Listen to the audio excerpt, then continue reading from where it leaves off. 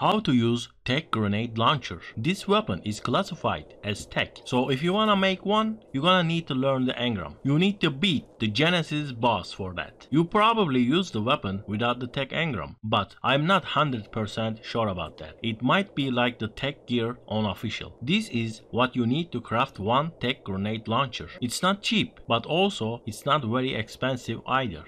So how do we use this? We can load every single grenade into this weapon and there is pretty much one thing you need to learn and that is the part how you load it.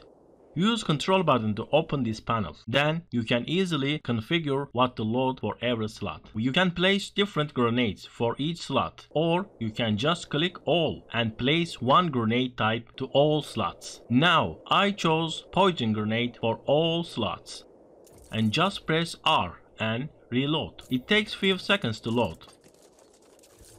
And now you got 6 grenades ready to launch at your enemies. One more time. I got 4 poison grenades left. Now let's change that and fill with other type of grenades.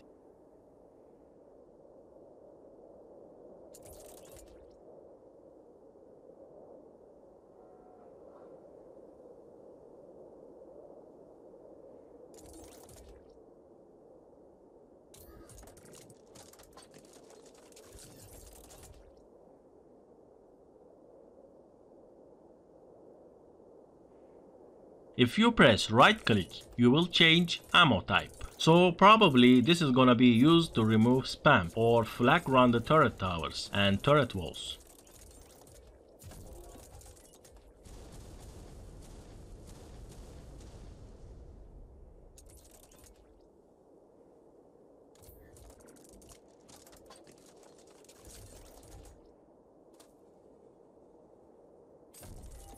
I don't think this is an ideal way to deal with dinos though, but looks fun.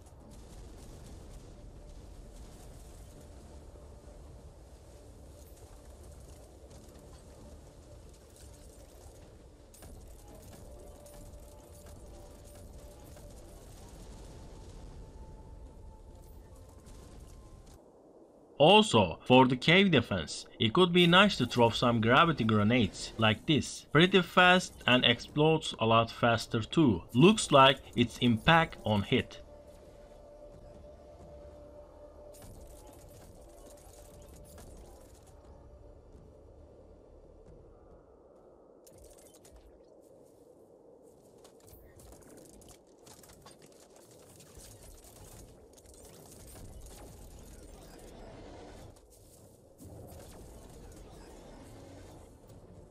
It could be used in caves to throw poison grenades, but might be an expensive item to use with that, because late game poison grenades is not very useful. Alright, thank you for watching, and if you like this, you know what to do.